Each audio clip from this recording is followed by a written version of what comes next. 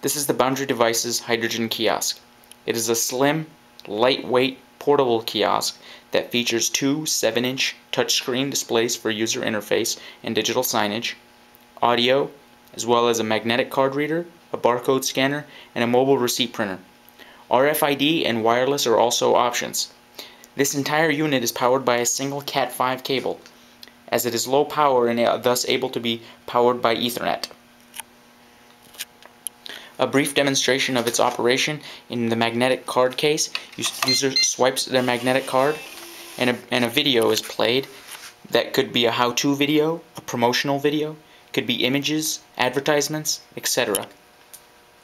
In the barcode scanning case,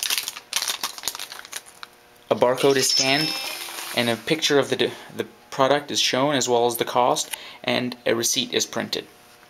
The second unit can be used uh, as a, a slave device or as a supervisor option with a keypad or other features.